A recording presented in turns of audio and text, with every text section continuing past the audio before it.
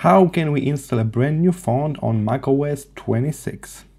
First, we need to get a font file. So here I am on dafont.com and I'm going to download this free font. Alright, I got this zip. I need to click on it to open. And inside that zip, I can see a font file format.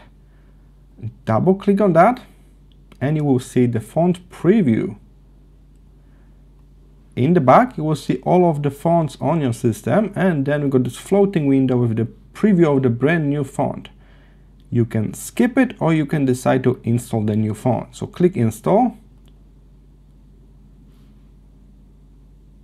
And here it is. Now the font is available in all of the programs on my system. I just need to search for this name and the font will appear.